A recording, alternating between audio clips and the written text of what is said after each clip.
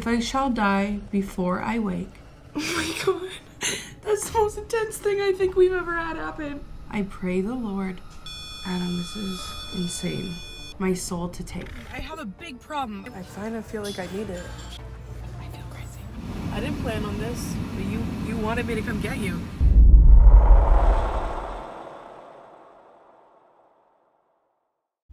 So, here we are again. I'm just kidding. What up, homies?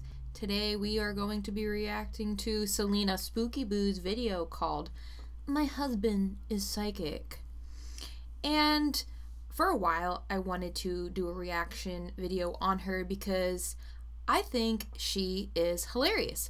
I think she's fabulous. She is one of my favorite people on YouTube and she has some abilities of her own.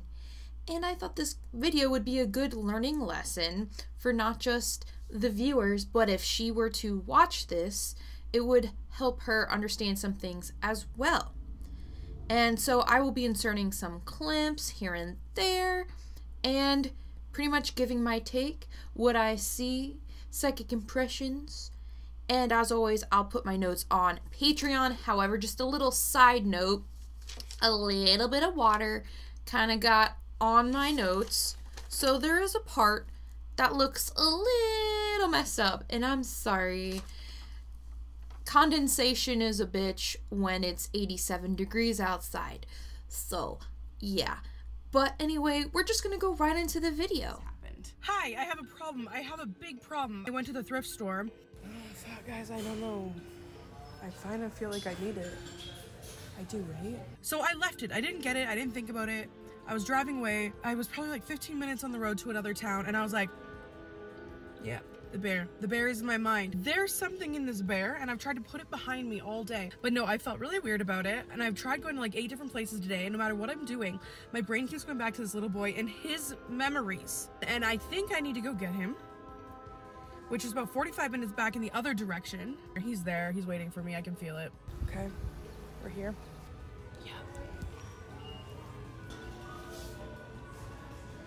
Do you see it? Do you feel it? Am I crazy? I feel crazy. I'm gonna need to know your story. We're gonna have to talk at some point, buddy. Here's your mind now. I didn't plan on this, but you you wanted me to come get you. So I drove 40 minutes back to get you, bitch. Here he is. We're days later. We're about three days later. He has remained in my car the entire time. I don't bring haunted things in the house anymore. Unless it's on accident, because that's happened a few times. Adam, how do you feel about my thrifting? It's been a thing our whole relationship. Uh, the one thing that I don't think of when I buy things, I'm like, oh my god, this is so creepy and cool, but I don't like take a minute to catch the vibe and see if it's haunted or not. And there was at one point where I did bring this doll into the house. It was like um some tourist kind of doll, but I thought it looked really, really unique. Do you remember that doll? Yeah. Things started happening, and this is back when Adam was a lot more of a skeptic, and um, he became a believer. Do you remember the nightmares you had about that doll? I, I remember. I remember the nightmares. Yeah, and 30 seconds in, and it's to like almost two minutes. But the thing is, this is a common tactic used by spirits and entities that are attached to objects. Typically, they look for those that are more on the sensitive side because those types of people are much easier to affect, whether that's through any type of spiritual attack or manipulation, all for the sake of energy consumption. There's some hidden agendas, if you will. But yes, sending a sensitive thoughts and images to trick or manipulate them into taking the haunted object home is a great indicator for whether or not an object is haunted. Plus, of course, if the person starts experiencing uh, paranormal activity or nightmares, sleep paralysis, sudden onset of mental or physical disturbances or illnesses, are other signs. I ended up leaving that day and I left. I was about 20 minutes on the road going to this next place, and I could not stop thinking about this bear um, but in a weird way where this bear was no longer really the bear in my mind. Um, it all kind it all came together. It came together why I was drawn to it. Now here's the weird thing. I did not feel anything negative on this bear. I have a very clear image of what I think is going on with this bear. But the only interesting thing, right? Because like you'll see in the clips before, um, I'm like, yeah, there's definitely nothing negative in there. Since I brought this home, I have been sick I have been coughing and feeling weird. So here, here's something. I feel like Adam is getting more intuitive over the years because definitely since he opened up from being a skeptic, I feel like he's had more paranormal experiences than I actually have in the last year. But um, I'm gonna write down what I feel about this bear because like I don't know if I'm correct yet. That's why we got the tools of the trade. We're just gonna start with a little demon away just to block it. I definitely shouldn't have started snuggling him before I, uh, you know, sprayed him down. But he's been, he's been locked in the car, so maybe maybe the ghost is in my car now. But I'm gonna write down on a piece of paper what I think is inside this bear. Adam, I'm gonna pass him off to you, and I oh want no, yep, no, I want you to see what vibes you get. no. I sense. No, yeah, no, no, no. Wait, wait. Till, did you say polyester? yes. Adam, wait till I'm done. Three minutes and 55 seconds in. So, since starting this video, I've had to run to the bathroom twice. So, a little background it took me three days to get this done. That includes watching it, taking notes, and doing this recording because I kept having issue after issue after issue with my own health. It's been a rough three days. But yes, I've had to run to the bathroom twice within a span of almost four minutes. So when I woke up today, I was having a wee bit of stomach issues, but it wasn't like out of the norm. Like I have I have some sort of pain every day. There's like a base level, if you will. So I would say my base level is usually at a four. Okay. That's my norm. That's every day. And it was actually going away. And then about four minutes in, it spiked and got a lot worse. And when I mean a lot worse, I mean like a lot worse that I cannot describe on YouTube because of monetization reasons. But, um, yeah, wasn't a fun time. And uh, to me, that is red flag number two. So if it's affecting my health, not just their health, but my health, that's a rut row. And interestingly enough, last night I had a dream about a man trying to kill me. So there's the nightmares. To me, I mean, they're not really nightmares anymore because I'm desensitized. But for the average person, that's not a good dream. And, uh, yeah, wasn't the best of times. Oh, oh, oh. And, and that night I also got bum rushed by a negative entity. Now, you know, I was dealing with a client who was having issues. One could say it was from her, or it had to do with making this video. I'm only stating this to be transparent, okay? But I suspect it might have been more to do with the client. But I'm stating it in this video in case something similar happens again, and it's kind of like my record of it. But I'm just putting out putting it out there, especially like let's say Celina watches this video or her husband watches this video and she experienced the same thing, well then I will know for sure that it has to do more with the bear than my client. Does that make sense? I hope it makes sense.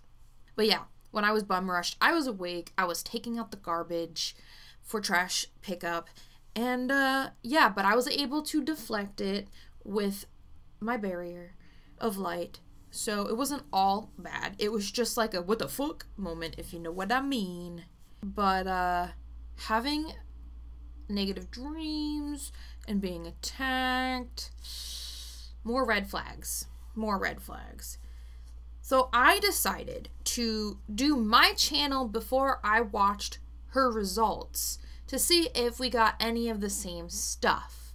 I know every single medium is different and we're not always going to get the same information as one another. That's okay. That doesn't mean one is wrong. It means the information that we're getting is probably right. It's just the interpretation is what needs a little uh, adjusting. But I wanted to do this for my own validation, but also because I didn't want what her results were going to be to influence anything I got. And so I am going to relay those here right now. But regardless of who's right or whatnot. There's still something that can be learned here. And let's talk about it. Because the first thing I saw immediately were three faces. All male kind of energies. They had like that male presence. But one looked like kind of like a wolf fox mix, but it kept shaping into a man. And so, you know what it reminded me of? The big bad wolf. And kind of like villainizing somebody. The second one. Now, this one I'm going to have to try to AI render. If you don't see it in the video, it's because I couldn't get the image close enough and I don't want to like put anything out there. I want it to be as close as possible. But if I can render it, I'll put it up here.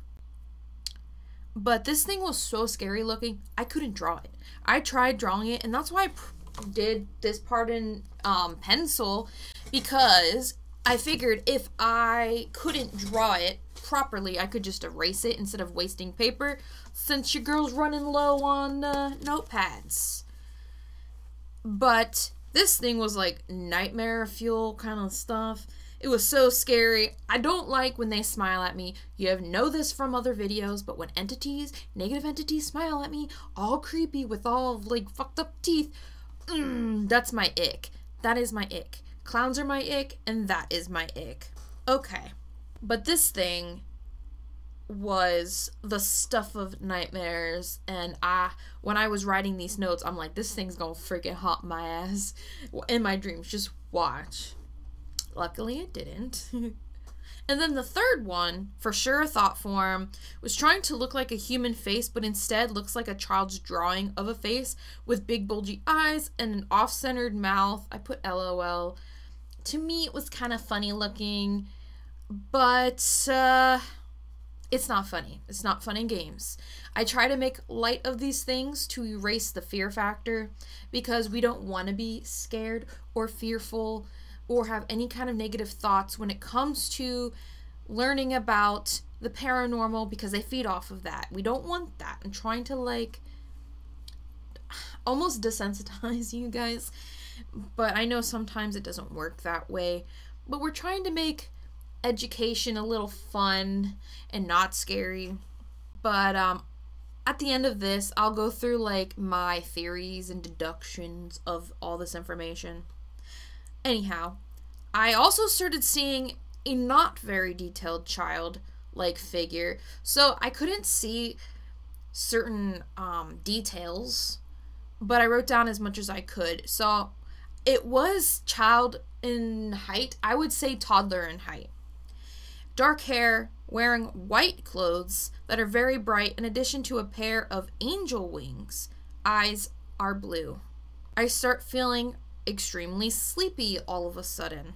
Then I start seeing this elaborate building from the inside with very tall ceilings and highly decorated walls and ceilings like murals and things like the fancy like angels and the yeah, I forget what that's called. I'm sorry. I'm a bad artist but you get the gist. I, I didn't see that specific like painting of the hands, but it's similar in style.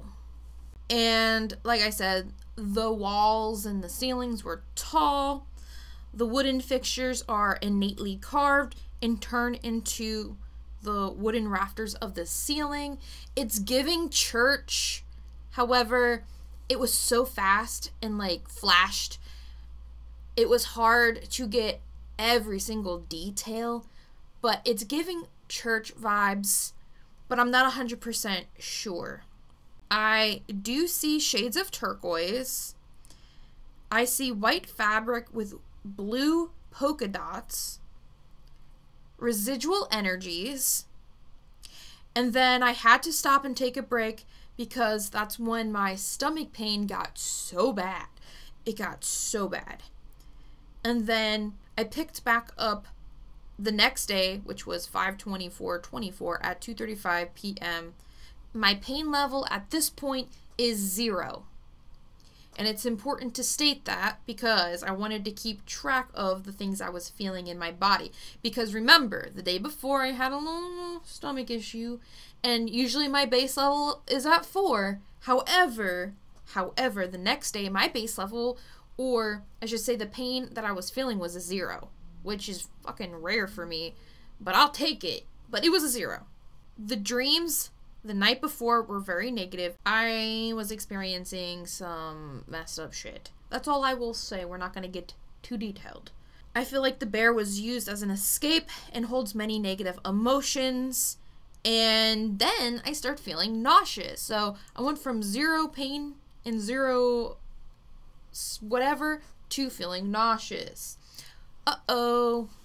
All right, so now we're going back into the video. First question I want to say, which I get a lot, is how do the spirits get inside of the things? I don't know. I think energy sometimes sees something and just resonates with it and goes inside of it. 620. She asks, How do spirits get inside of the bear or any object? She doesn't know, which is okay. Like, that's okay. That's what I'm here for. So, technically, spirits don't go inside, they attach. Nothing is inside anything. The object doesn't have a consciousness. A consciousness can be inside a body because it works through the brain and other parts of the body. But the body of an inanimate object is not a living organism and doesn't have a soul or a consciousness for something to take over. Therefore, if a spirit or entity wants to attach itself to the inanimate object, it can, but it can't possess it I'm just stating this because entities can possess a person and take them over, but they can't possess an inanimate object because there's no consciousness to possess. Does that make sense? I hope that makes sense. Spirits or entities can attach themselves to objects similarly to how they attach themselves to people. If a living person was extremely fixated on an object, when they were alive, but then passes away. But for whatever reason, they're still fixated on that object and are obsessed with it. It can't let go of the 3D and then they become earthbound. That's one way a human spirit can become earthbound, and one way that a spirit can attach to an object.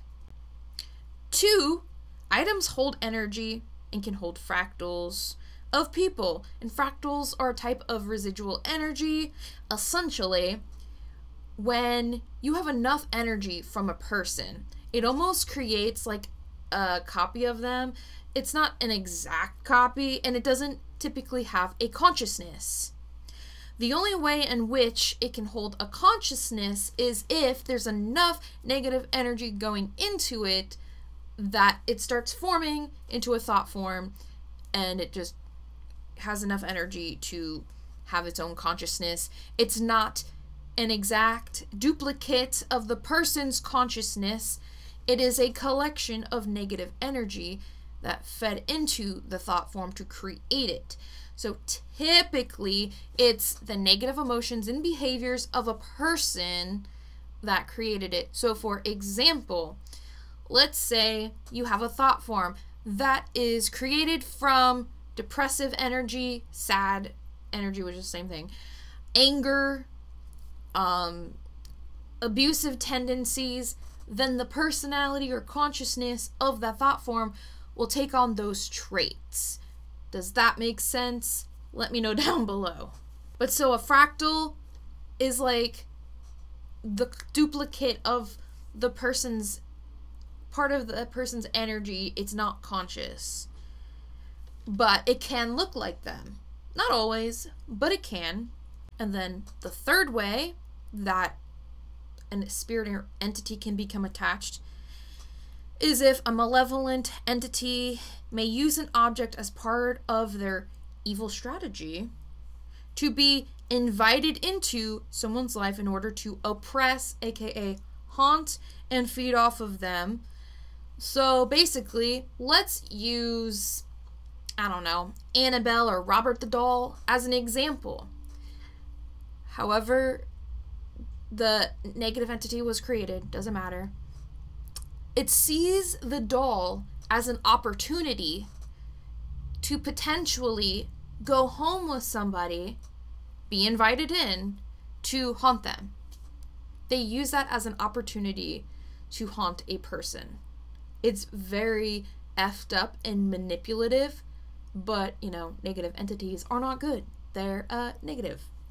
Number four, the obvious way witchcraft. Someone can intentionally put a spirit or attach an entity to an object. And five, yes, spirits can just resonate with things. So, for example, let's say you have a person, a man, who used to love red sports cars. He didn't own his own, but because he was so stuck in his 3D perspective, he couldn't cross over. But hey, wait, as he's wandering around, he sees a red sports car.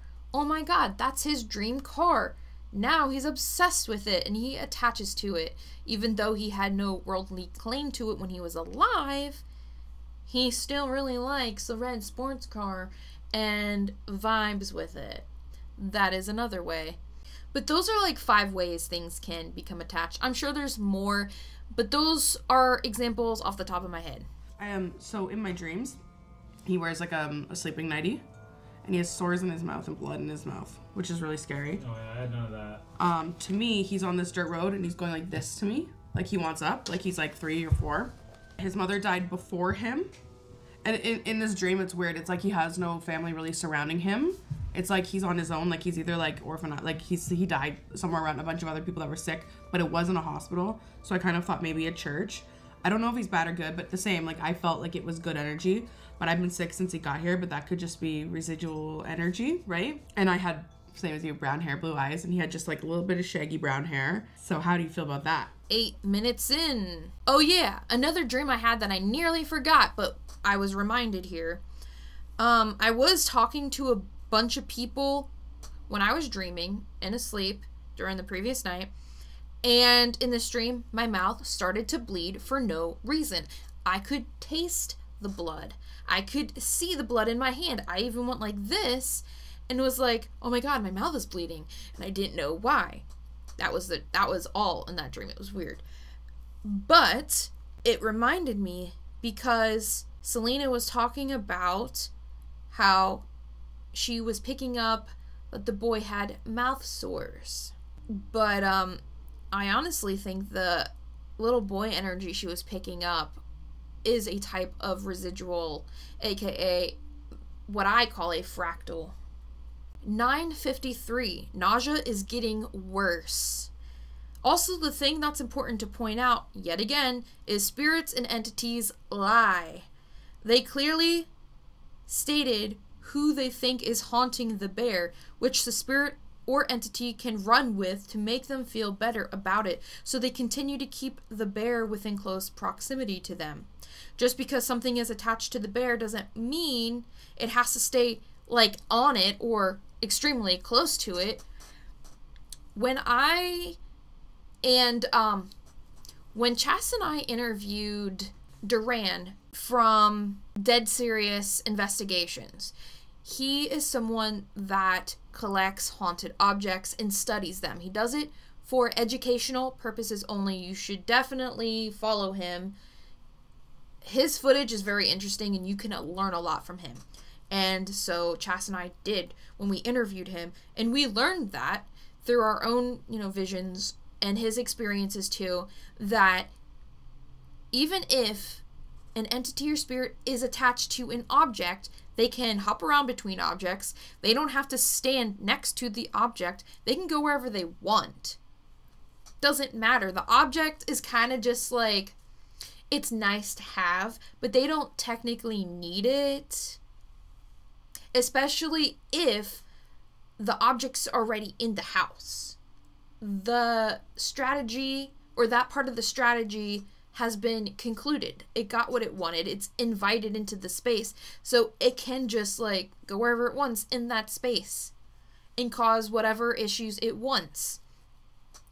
And of course, with Duran and his objects, we noticed that some of these entities would play musical chairs, is what I like to call musical chairs, where they would swap places with one another and like talk to one another and just mess around and cause problems and just trick the person.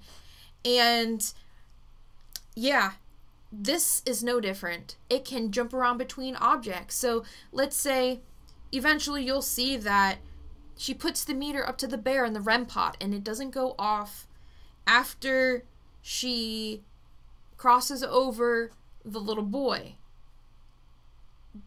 But that's the thing. Those things are still there. The negative things are still there because it's jumping around. It's not next to it because it wants them to have a false sense of security to make them think that the bear's not haunted anymore which is very diabolical. But like I said, nausea gets significantly worse. Also, if you hear random noises like growls and gurgles, that's my acid reflux that I could not edit out of my videos because it's overlapping me talking. So I'm sorry if it sounds like paranormal phenomena, but it's my body like going against me. For real, for real. All right. At 10 minutes and 55 seconds in, my stomach pain spikes. 1735, headache. Around 25 minutes in, my headache disappears, but the nausea is still there.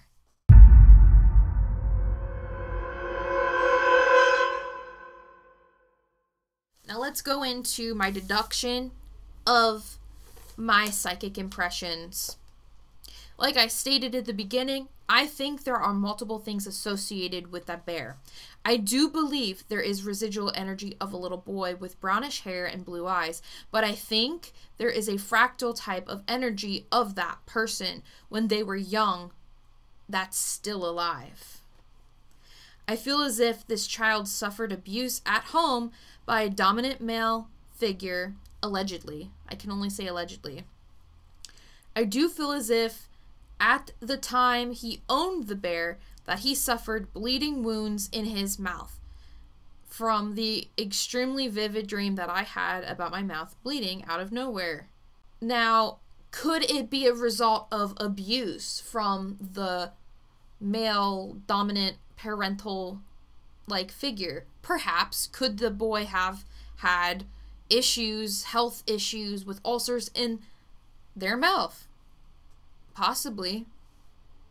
This is where interpretation comes into play and where our deductions or our interpretations slightly differ from one another. The imagery of seeing the child in white with angel wings could symbolize that his inner child was left behind with the bear, and I'm hearing Claire audiently big boys don't need stuffed animals or something to that effect.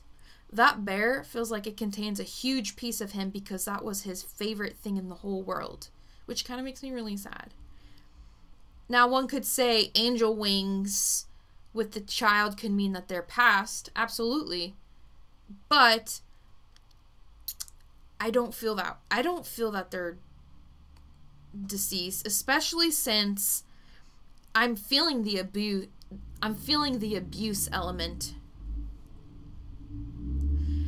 I feel what Celina was experiencing was the integration of the boy's energy being reconnected to love and the rest of like the body and his family because it's something he desperately needed. And also I was getting flashes of psychology and child development. That is one of the main courses that I had to study during my time in college, but it's just giving me like child development and the issues that can be caused through certain types of parenting styles. The three other entities I was seeing are a product of negative energy that formed into thought forms The dominant male wolf like energy is a product of the dominant male figure that was in the boy's life. I'm guessing a father figure doesn't necessarily have to be the biological dad, but someone in the boy's life with major influence and abusive behavior.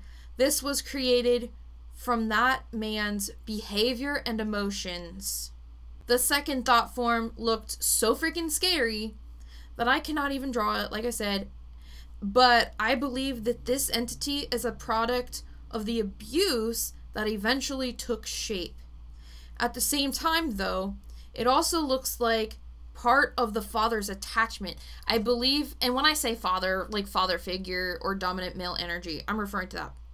But I feel like, and I know I'm probably going to lose people here, but it was hard to tell if it was the attachment of the father or the product of the behavior and emotions that scared the child. But technically, it can be both because thought forms consume negative energy to grow.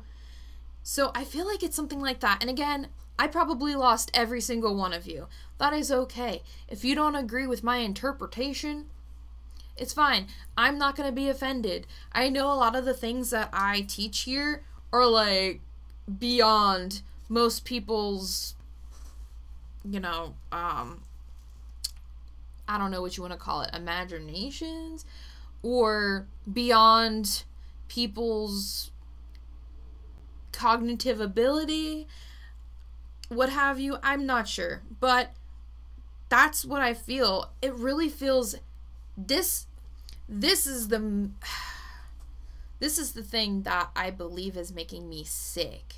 Then the third thought form that looks like a child's drawing of a person's face with the bulgy eyes and off-centered mouth feels like the child's representation of his feelings within himself. And you know, part of the images I was seeing is an actual drawing that the child made of himself. You ever see in the scary movies how you'll have a child that's experiencing a haunting and then they'll draw themselves and like how they feel next to something creepy. That is the vibe that I'm getting. So I'm in the editing phase of this video that I made for you guys and something just clicked and sometimes information comes this way. It's very like broken up sometimes, but I just realized the three different entities that I'm seeing, like the three thought form entities, are actually three different facets of one entity. Sometimes this stuff's confusing, especially when they can shapeshift and they can switch their faces on a dime. And so, actually, the three different entities, it's three different facets. So instead of editing the entire video, we're going to use this as a learning experience for myself, because I'm still learning like you guys, but also for people who are watching. So excuse my little interruption, but yep, that is what I realized while editing. And uh, yeah, if you have any questions, comments, thoughts, concerns, leave them down below. And hopefully I can answer them. Okay, even if the boy's energy was integrated, those entities or negative energies, if you want to call them that, are still attached to that bear. And it would be best if Celina cleansed it thoroughly or just got rid of it. Plain and simple, but then also cleansed her space afterwards. The bear is still making me sick, so that's how I know it's not safe yet. Not to mention, a child's spirit isn't going to be conniving or manipulative enough to know how to influence a person to make them buy a haunted object. That's something negative entities do, not a child or a toddler spirit. I know the ghost equipment said one thing, like it had its own little story that it went with what Celina and her husband were saying. But remember, spirits and when I say spirits, I mean negative spirits and entities lie. they lie. Just like living people. What's still attached to the bear is still there. That negative stuff is still there. Celina and her husband will continue, and I hope I'm completely freaking wrong. I hope I'm wrong. I don't care if I'm wrong, but I hope I'm wrong here. But I feel as though Celina and her husband will continue to have health related issues in addition to weird dreams or nightmares. And lastly, the REM pod and meter didn't pick anything else up after the fractal integrated because the negative thought forms moved away from the bear so they don't become detected. To trick them. It's a classic trick they play. So you lower your guard and think that everything's okay until things are not okay. And then they're going to be like, what's going on? And it's going to stump them. Maybe not Celina. She might figure it out down the road.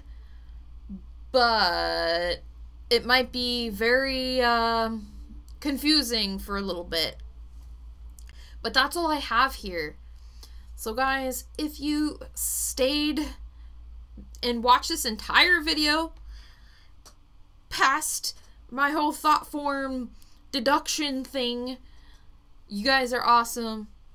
And, uh, yeah, I will be coming at you again soon with another video.